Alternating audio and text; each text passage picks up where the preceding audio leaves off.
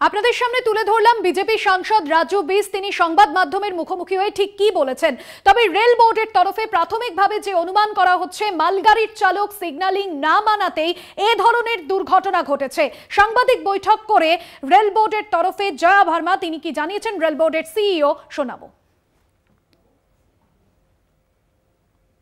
Kanchenjunga express का एक accident हुआ है ये ट्रेन अगरतला से अम, सियालदा के लिए जा रही थी और इसका पीछे से एक्सीडेंट हुआ है कोलिजन हुआ है, एक गुड्स ट्रेन के द्वारा।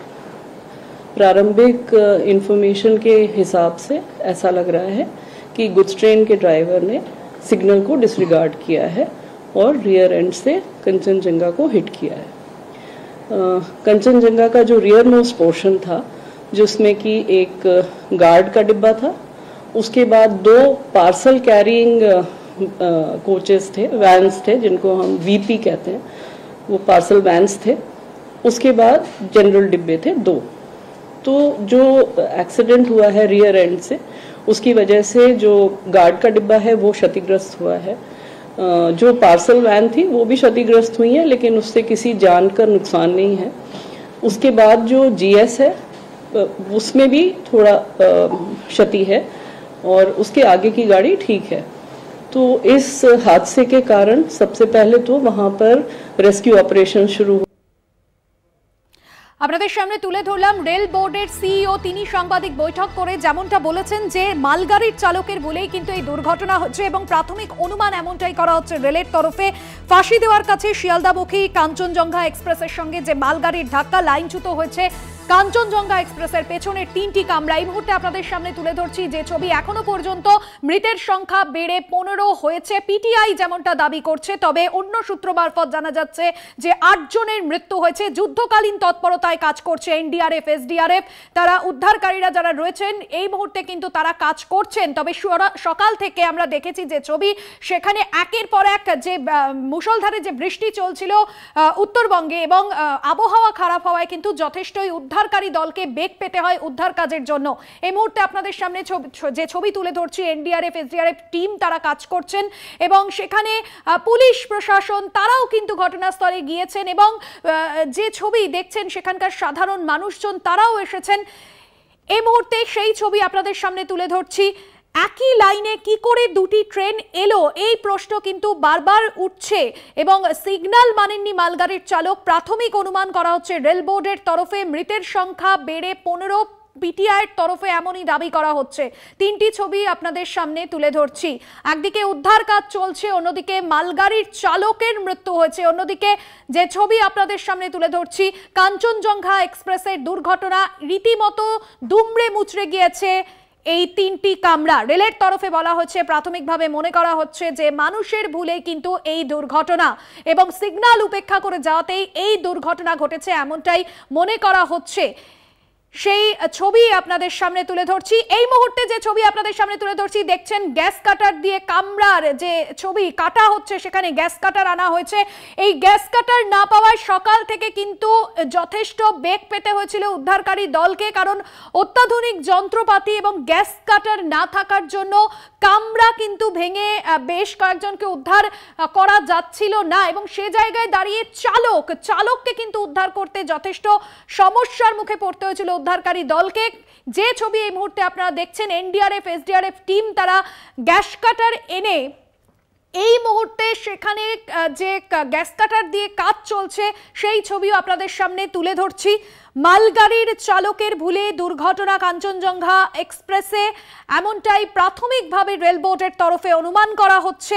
করমণ্ডলের স্মৃতি কোথাও গিয়ে উস্কে দিল, শুধু করমণ্ডল নয় দু হাজার আমরা দেখেছি একের পর এক যে দুর্ঘটনা এবং চলতি কয়েক বছরের রেল দুর্ঘটনা, সেখানে বারবার প্রশ্ন তুলেছে অ্যান্টি কলিশন ডিভাইস নিয়ে। কখনো প্রশ্ন উঠেছে যান্ত্রিক ত্রুটি নাকি মানুষের ভুল? এই মুহূর্তে আপনাদের সামনে যে ছবি তুলে ধরছি, এনডিআরএফ, এসডিআরএফ টিম, তারা একত্রিতভাবে কাজ করছেন যাতে উদ্ধারে কোনো রকম একচুলো ফাঁক না থাকে। এই মুহূর্তে সেই ছবি আপনাদের সামনে তুলে ধরছি। কারণ দীর্ঘ একটা সময় কেটে গিয়েছে, গ্যাস কাটার না থাকায় কিন্তু বহু কামরা কেটে সেখান থেকে অনেককে উদ্ধার করা যায়নি এবং প্রশাসনের আধিকারিকরা তারা যেরকম এই মুহূর্তে সেখানে এসে উপস্থিত হয়েছেন, অন্যদিকে স্থানীয় বাসিন্দারা তারাও কিন্তু উদ্ধার কাজে রয়েছেন একবারে এনডিআরএফ, এসডিআরএফ এর পাশে। তবে প্রাথমিকভাবে যে প্রশ্ন উঠছে, যে প্রশ্ন বারবার উঠছে যে সিগন্যালিং এর ভুলের জন্যই কি এতগুলো মানুষকে প্রাণ দিতে হলো? মালগাড়ির চালক তিনি কি সিগন্যাল মানেননি? সিগন্যাল কোথাও গিয়ে উপেক্ষা করেছিলেন? এই প্রশ্ন কিন্তু বারবার উঠে আসছে। আপনাদের জানিয়ে রাখব, যেমনটা রেলওয়ে বোর্ডের সিইও তিনি জানিয়েছেন যে ড্রাইভার সিগন্যাল উপেক্ষা করেই ট্রেনটিকে ধাক্কা মেরেছে। ড্রাইভারের কামরা এবং ট্রেনের পিছনের পার্সেল ভ্যানের কোচটিতে দুর্ঘটনার প্রভাব কিন্তু সব থেকে বেশি পড়েছে। মালগাড়ির দুইজন ড্রাইভারের মৃত্যু হয়েছে এবং কাঞ্চনজঙ্ঘা এক্সপ্রেসের গার্ডও তিনিও কিন্তু প্রাণ হারিয়েছেন।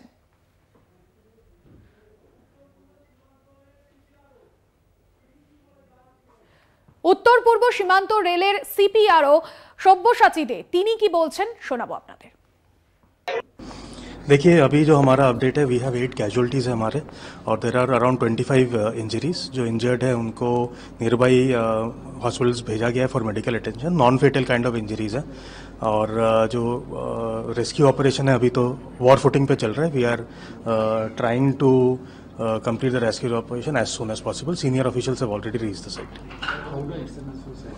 See, it, uh, the preliminary information which we have is that Kanchenjunga was hit from the rear uh, by a goods train. And uh, why it happened is a question which will only be uh, available after uh, the detailed investigation is completed, but this is what we have, the preliminary information of how the accident happened. আজ থেকে ঠিক এক বছর আগে দু হাজার তেইশের দোসরা জুন করমণ্ডল এক্সপ্রেসের স্মৃতি বালেশ্বরে লাইনচ্যুত হয়ে যায় সেই ট্রেন এবং একই লাইনে এসে পড়ে মালবাহী ট্রেন। তারই স্মৃতি ফিরল। এই মুহূর্তে আপনাদের সামনে তুলে ধরছি একেবারে উদ্ধার কাজের ছবি যেখানে গ্যাস কাটার দিয়ে এনডিআরএফ, তারা কাজ করছেন এবং যুদ্ধকালীন তৎপরতায় কিন্তু তারা উদ্ধার কাজের যে সমস্ত রকম প্রচেষ্টা, সেই প্রচেষ্টায় এক চুলো ঘাটতি রাখছেন না তারা। সেই ছবি আপনাদের সামনে তুলে ধরছি। এই মুহূর্তে কিন্তু উদ্ধার কাজ চলছে, তবে সকাল থেকে আবহাওয়া কিন্তু বাধা হয়ে দাঁড়িয়েছিল এবং প্রতিকূল আবহাওয়া না, অর্থাৎ প্রতিকূল আবহাওয়া থাকার জন্য যথেষ্ট বেগ পেতে হয়েছিল উদ্ধারকারী দলকে। সেই ছবি আপনাদের সামনে তুলে ধরছি।